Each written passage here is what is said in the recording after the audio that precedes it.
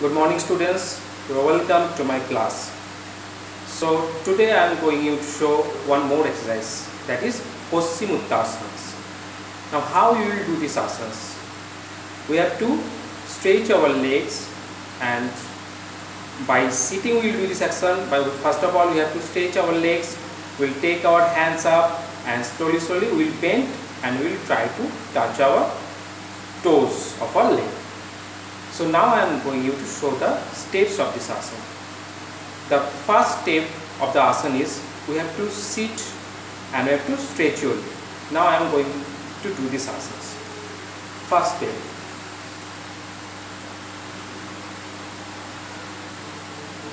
Stretch your leg in front of you. Join your legs, join your feet. Legs and feet should be joined together. There should not be gap between two legs. Now, next step. Lift your hand up. So Slowly should be straight and look front. Look front. Now slowly, slowly you have to bend straight way like this. Just you are pushing. Just you are pushing something like this. Slowly, slowly you bend. Very slowly, slowly. Bend, bend. Touch your.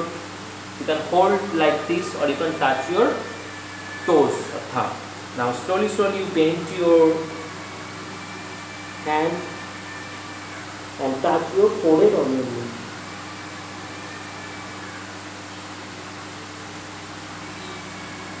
Now slowly slowly you come up. Very slowly slowly. Come back to your previous position. Slowly slowly put your hands down. Now few things I am going to tell you about these asanas. Whenever you are going to bend your chest will come first, not belly.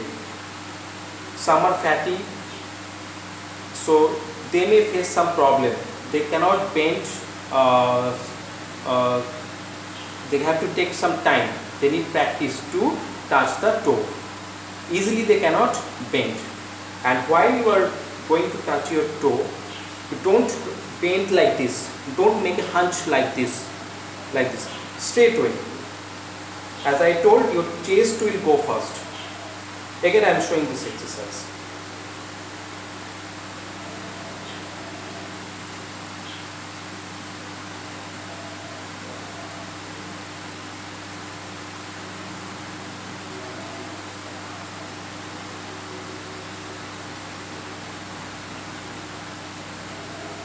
So straight way I am going down, touching my toes or legs touching my forehead on my knees and hands, uh, I am folding my hands and slowly slowly we come back to the previous position. And while you are doing this exercise, don't force, don't force or struggle.